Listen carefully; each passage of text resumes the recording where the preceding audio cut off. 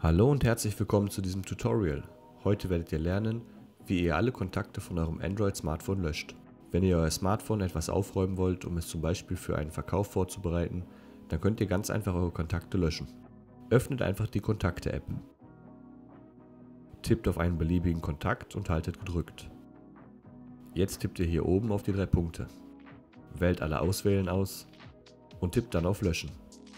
Geschafft, alle eure Kontakte wurden gelöscht. Über welche Android-Funktion möchtet ihr mehr erfahren? Wenn euch dieses Video gefallen hat, nehmt euch kurz Zeit, um es zu liken und den Kanal zu abonnieren.